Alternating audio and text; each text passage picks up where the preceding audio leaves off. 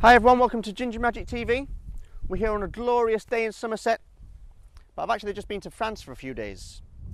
And I'm sure you'll recognise when you get back from abroad, you end up with a pocket full of foreign coins. These are euros from France.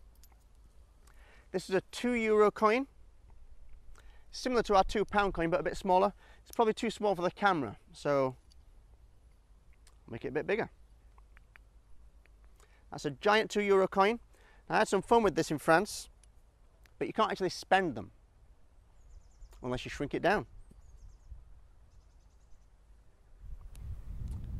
And you're back to normal. That's it for this week's Gingermagic TV. I'll see you next Thursday.